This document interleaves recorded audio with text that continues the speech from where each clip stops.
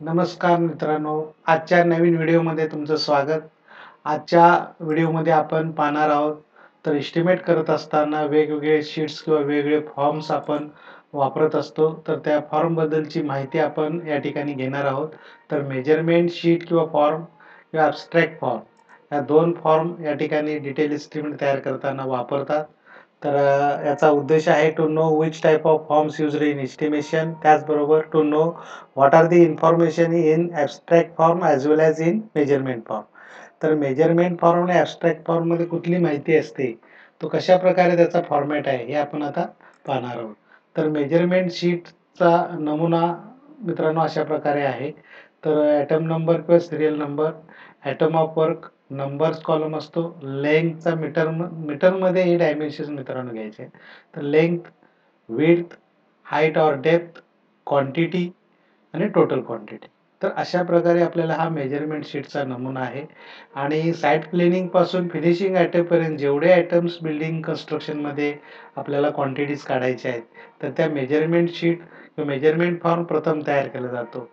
तर या ठिकाणी साईट क्लिनिंग मी लिहिलेलं आहे. जॉब वर्क आयटम आहे. एस्क्वेशन मग आपण या ठिकाणी लॉंग वॉल असेल शॉर्ट वॉल असेल तर या ठिकाणी जे काही लांबी रुंदी डेप्थ असेल ते ड्रॉइंगच्या आधारे आपण या ठिकाणी घ्यायचे आहेत आणि क्वांटिटी काढून मग टोटल क्वांटिटी इथे लिहायची आहे. जो सिक्वेन्स असतो तर ह्या मेजरमेंट शीटवरून आपल्याला काय समजतं तर किती आयटम्स आहेत आणि प्रत्येक आयटमचे लेंथ विथ डेप्थ हाईट समजते आणि त्याची क्वांटिटी किती आहे हे समजलं जातं मित्रांनो. तर हा फॉर्म एक लक्षात ठेवा. आणि यानंतर या फॉर्मच्या आधारे दुसरा फॉर्म जो तयार केला जातो तो म्हणजे ॲबस्ट्रॅक्ट फॉर्म आहे.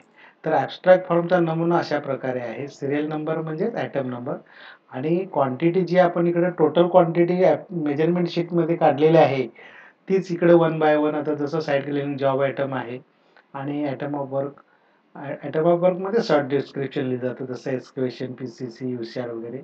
रेटच्या कॉलममध्ये रेट लिहायचा आहे. पर युनिट रेट कुठल्या युनिटला आहे? क्युबिक मीटरला आहे स्क्वेअर मीटरला आहे आणि अमाऊंट तर क्वांटिटी इंटू रेटचा गुणाकार केला की अमाऊंट येते.